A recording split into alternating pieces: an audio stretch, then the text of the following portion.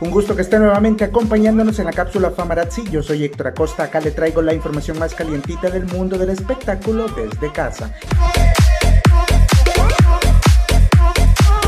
Le comento que Kourtney Kardashian ha dicho de que ya no va a estar en el famoso reality show de su familia. Ella y su hermana Kim durante el primer episodio de la decimoctava temporada de su serie protagonizaron una pelea bastante violenta y que causó una gran polémica en las redes sociales. Muchos pensaron que dicha discusión había sido planeada, pero hoy se dio a conocer que las cosas realmente no fueron así.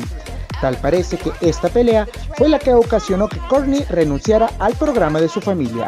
Ella escribió en Instagram, es difícil para mí ver estos dos primeros episodios pero es en estos momentos más oscuros que ocurre el crecimiento. Finalmente tuve el coraje de cambiar lo que ya no me traía felicidad y poner mi tiempo y energía en lo que es, elijo la felicidad. El príncipe Harry y su esposa Meghan Markle por fin dejan ya a la realeza británica y lo hicieron con un mensaje en su cuenta de Instagram. Desde este martes, la expareja real se retirará oficialmente como miembros trabajadores de la familia real británica. Aunque seguirán siendo el duque y la duquesa de Sussex, ya no usarán sus títulos de Alteza Real y abandonarán su marca Success Royal, dejando su cuenta de Instagram y su sitio web inactivos.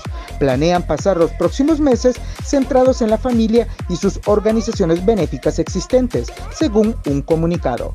Los Success y la familia real acordaron revisar su situación dentro de un año y se cumplen 25 años del asesinato de la cantante Selena Quintanilla y le voy a contar la extraña petición que su padre Abraham le dijo a su asesina Yolanda Saldívar. Abraham sorprendió ante la indiferencia que mostró la posible salida de la prisión de la mujer que terminó con la vida de su hija.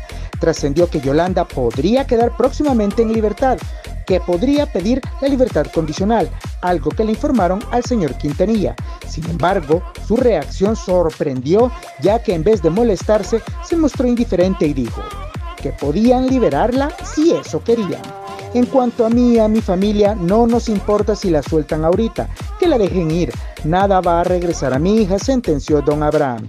Sin embargo, el padre de Selena señaló que Saldívar se encuentra más segura dentro de prisión ya que conoce las múltiples amenazas que atentan contra su vida si sale de la cárcel por parte de fanáticos que no le perdonan lo que le hizo a la considerada reina del Tex-Mex.